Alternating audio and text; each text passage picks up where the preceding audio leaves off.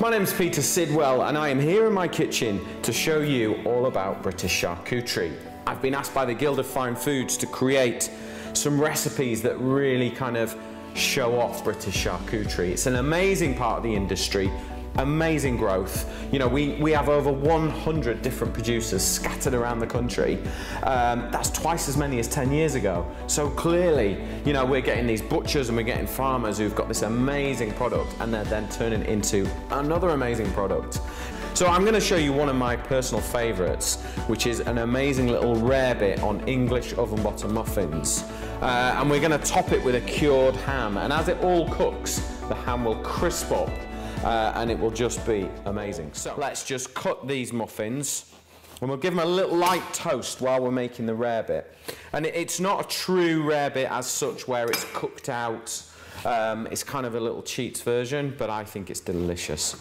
Okay, so muffins straight into the oven while we get on with the mix. Okay, so First things first is I have got a little bit of sort of Dijon style mustard. It's actually an English mustard, uh, but it has been made in the Dijon style. I prefer it. It's a little smoother, a little rounder. But if you prefer English mustard, that's okay. Just be careful, it's pretty hot. And then sour cream. Now this kind of works really well. It makes it all beautiful and creamy and it takes it from cheese on toast to a kind of rarebit style. So I've got a couple of tablespoons. There we go.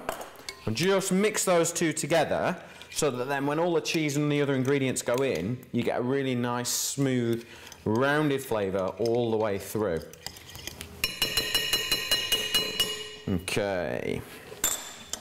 So, to help kind of set this, we're going to add an egg yolk. And this gives, it does two things really. It helps set the cheese, but it also it gives it a beautiful richness, okay? Um, and, and if you don't put the egg yolk in, you tend to end up with kind of a cheese sauce on, on your toasted muffin rather than a lovely, rich, cheesy mixture. Ah, I'm getting excited just thinking about this. So, mix the egg yolk in. So now we've got this kind of setting liquid that will help. Okay. Right, I have got some English vintage cheddar. Okay, I like to use a really strong, robust cheddar in this, but it's up to you. You know, if you're from the northwest, you might be thinking Lancashire cheese. You know, if you're in Yorkshire, you might be thinking Wensleydale. You fill your boots. Go for the cheese that you love. That's what's important. Okay, so we now mix that creamy mixture and the cheese together. Okay, pop that to one side. Spring onions. Now these are gonna work beautifully in this and just, just add that savory note. So I'm gonna chop the white really, really thin. And then as I get towards the green, we're gonna open the knife out a little bit and chop it a little bit bigger.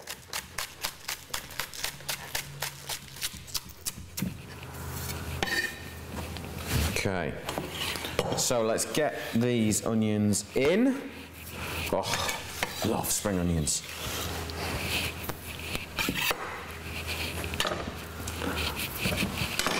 So we'll give that a quick mix and we are nearly done. A little bit of pepper. I'm not going to put any salt in because the cheese has got salt in it anyway and it's kind of, you know, we're putting the ham on there so I don't think we really need it. Muffins have just had, what, two, three minutes under the grill. I'm not toasting them heavily at all, okay? Muffins have just been in the under the grill for two or three minutes while we've been making the cheese mixture.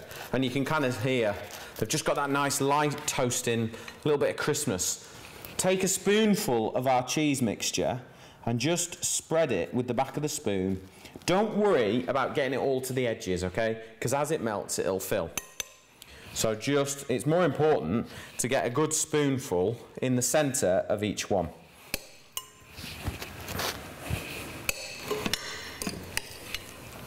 Those last few little bits.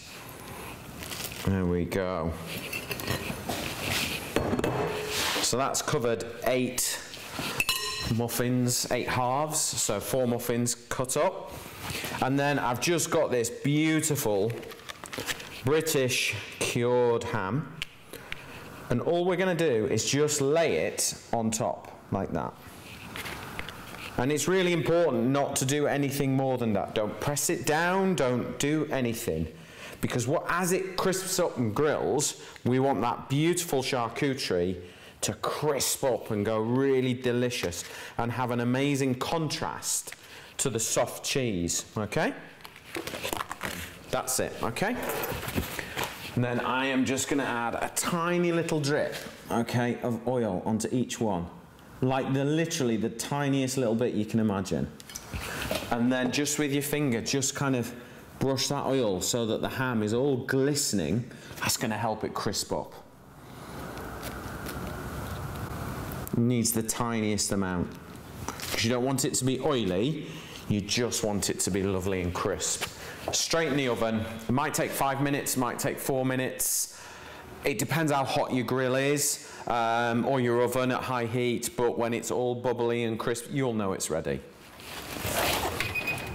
Toasties have been in the grill for five minutes, and as you can see, look, lovely and crisp and delicious, which is exactly what we want.